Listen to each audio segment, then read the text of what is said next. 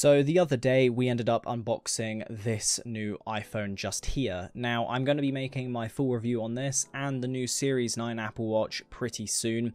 However, if you want basically my rundown thoughts of the unboxing was that I was very surprised about the build quality of this phone. I thought it was a lot better than I was expecting. However, obviously there's been some tests done. The bigger model, I'm not too sure about the smaller model, but the bigger one definitely has some issues in terms of its, you know, build quality and such, so it's not necessarily the best thing to go for. Possibly sticking with this one might be the better bet, but also not, you know, doing that might also be another good choice. Now, I've been using this Apple Watch here, not really all the time. Now, I used this for about a month straight when I first got it. I think a lot of people can probably, you know, sit under the same category as that. You end up using your Apple Watch for quite a little bit and then you just completely stop using it. For me, that's because I also love um, actual watches. So for me, I've got a load of them now. Not very expensive watches, however, I've got a load of different ones. And it kind of meant that this just sat to the sidelines. However, I want to incorporate it into my life, especially since getting this phone, for one reason, and that is that I think I'll get better battery life when I am using a Apple Watch and phone combo instead of just using my phone to do most things when it comes to, let's say, reading messages, replying to messages, and just pretty quick basic tasks that I can get done on an Apple Watch. Now, for me, I will always recommend to every single person, if you want an Apple Watch that's cheaper and basically gives you almost all the same features as most of the Apple Watch lineup, get a Series 5. A Series 5 Apple Watch will do the trick. It's a very good watch all round. However, I wanted to upgrade this year uh, for multiple reasons uh, when it comes to the looks from that all the way through to just wanting a different strap, not paying £100 extra when I could just get it with a watch, and then also just extra changes and that sort of thing. So overall, I'll go through some of these other bits later on, but let's get into the actual unboxing experience. I'm going to say the same thing that I said in the iPhone unboxing, which is it's a very good thing that a lot of these companies don't know what a Apple product box looks like. I worked in tech for a very long time. It basically meant that I'm very, very aware of what a um, Apple Watch box looks like, what an iPhone box looks like, what a Mac box looks like, and all that sort of thing. But here you go. Here is the Apple Watch itself. Now, obviously, case is not too special, nothing about it. One of the big things that they went on about for quite a while within the showcase, how this is the first carbon neutral Apple Watch, which obviously is a big deal to quite a few people. Uh, however, I do think they went on a little bit too much about uh, carbon neutrality in this showcase, but I think that's just due to the uh, lack of anything else that they really had to talk about. Now, yep, you get the typical opening experience of an Apple Watch, where you've got all the different things so the braided loops and all this sort of thing.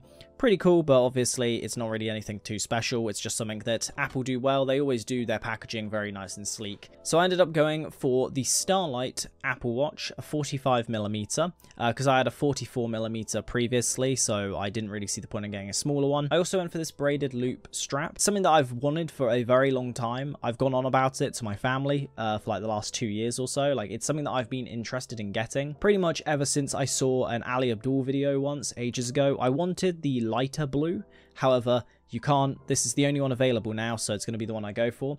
For a few reasons, not just because I think it looks cool, but the other big one is that I hate this. I hate this. Mainly because, yes, sure, I can now go and swim with it, but I rarely go swimming, for one.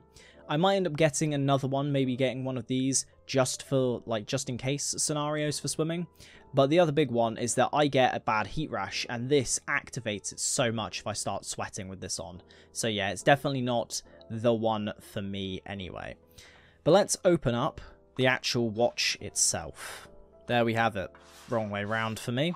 Uh, but there you go. So, typical Apple Watch. Again, there's nothing really that changes. That might be a change, though. Um, I know that the new iPhone came with a braided cable, and this one appears to have a braided cable again as well.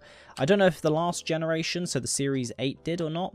I think the Apple Watch Ultra did, however, I'm not 100% sure. But yeah, the fact that these are all braided is a great thing for anyone who actually cares about not having to replace their like Apple Watch thing. I know that I could have probably just taken that off a lot smoother, but oh well, because the big issue for a lot of Apple like cables and stuff is that this bit here will snap very easily. When it's braided, it's less likely to do that. It also means they won't get tangled up anywhere near as easily. So yeah, again, braided cable looks very nice. and definitely is something that um, a lot of people will value. I kind of wish that these cables came in like specific colors. So for example, with the Pro model, because I know they do different colors sometimes, I believe anyway. And the like the one that came with this phone, I felt like was a hint of blue, whereas this is definitely a lot more whiter. That could just be me when it came to the iPhone and thinking that's what it was. Here you go, the actual bit that uh, people were here for, the actual Apple Watch itself. So yeah, like I said, I went for Starlight uh, for one main reason, and that is I wanted an Apple Watch that meant that when I want to wear other things, like, you know, that isn't just being active, it doesn't look like a black box on the side of my wrist because that's one thing that I kind of got put off with with the um you know with the series 5 that I had I had the um, space gray version, it meant that I just didn't want to wear it out, really. And this way, I actually have something that looks a little bit more nicer that you can wear with different outfits and that sort of thing. And it will actually look like it's a bit more smarter.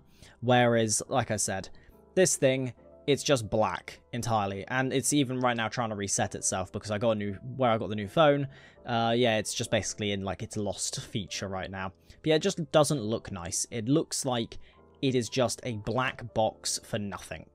And especially when, like, for example, it enters into low power mode and that sort of thing, and then the screen goes off entirely, it's not nice. Whereas this, at least, you've got a little bit of nice colouring here. I've also got the new braided cable. It's basically going to make the overall thing look a lot nicer. Now, with this one, though, the big reason why I said that, to be honest, I would still recommend the Series 5 to a lot of people over, let's say, Series 9, buying this, like, brand new, is for one big reason, and that is because this basically has almost all the same features as every single Apple Watch that has come out over the last like four or five years. The only big change that we've actually seen this year um, was the pinch, um, you know, feature. The new feature that's a pinch. I don't believe necessarily that to be a you know, too big of a deal. I think, yes, it's probably going to be helpful for some, but I think for most people, it's rarely going to be used. Um, but on top of that, I honestly just don't really feel like it's a new feature. Like we've seen a lot of people talk about, it's something that wasn't new. It's been in accessibility features. However, what Apple claim is that the chip which, which is in this is the powerful version that allows it to work better. So it's more responsive than you would typically have on previous models. So we'll see if that's true uh, over time with more tests and so on happening. But yeah, as you can see, I really like this color. I think it's just a lot more um, sleeker, a lot nicer. And it, I think it will just fit a lot nicer as an actual like wrist like an actual watch. I feel like watches are meant to be, you know, something nice for you to wear. They aren't meant to be something that you basically want to take off the moment you get home. Now, as I mentioned, I ended up getting this strap. Now, I wanted this one for ages, as I said, and yeah, I'm really happy that I could say that I finally got it, and that I can actually wear a strap that's hopefully not going to completely make me want to just rip it off every single two seconds.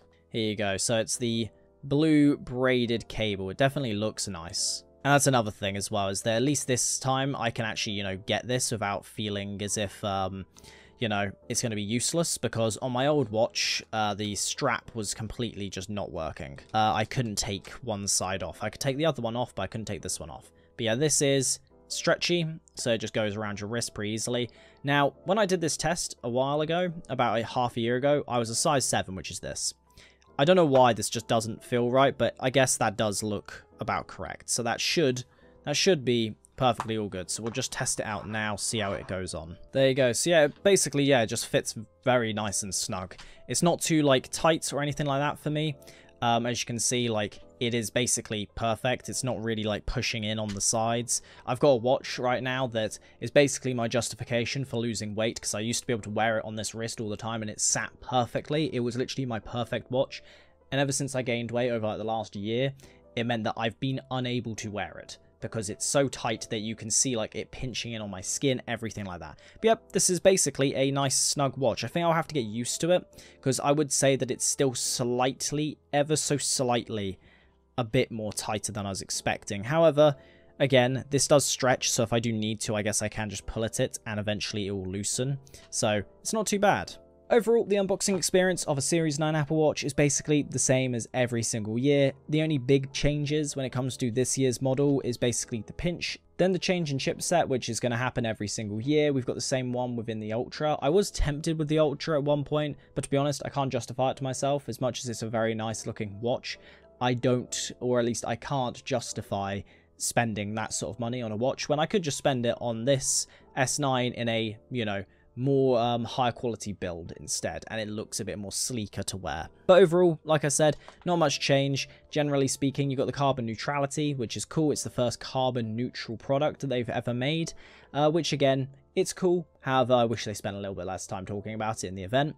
And like I said earlier, I will be making a video about this and as well as that, this one right here in basically a week's time, which will go over my first week's experience, which I've already got some thoughts on this phone, especially as a Pro Max user going down to a Pro. Um, and then I'll also talk about the Series 9 uh, Apple Watch as I intend to basically wear it on a daily basis, track my sleep with it, and do all that sort of thing. So if you are interested in those videos, make sure to subscribe to the channel. And as well as that, if you want to go follow me over on Instagram, that'll be linked down below, or you can just search Adam underscore tech underscore. Uh, yeah, it's very annoying. I kind of wish I could have got Adam's Tech, but uh, sadly I couldn't. So yeah, if you want to go check that one out, make sure to go do so. You basically get shorts of this, cooler photos, and I'll probably do more like updatey-esque things on things like the stories, features, and all that sort of thing. So for future videos, uh, yeah, I can basically use you guys as suggestions for future things, topics, and that sort of things to discuss. So yeah, that interests you, make sure to go follow that one. I'm basically going to be uploading now two days a week on this channel uh, for the foreseeable future. Uh, try and grow this channel a little bit more. So if you are interested in joining me for that, make sure to subscribe. And if you are interested in more tech videos, everything like that, and more things like unboxing videos, let me know down below in the comments and leave a like on this video to help it get pushed in the algorithm. With that all being said, hopefully you enjoyed this video I'll see you guys in the next one. Have a good one.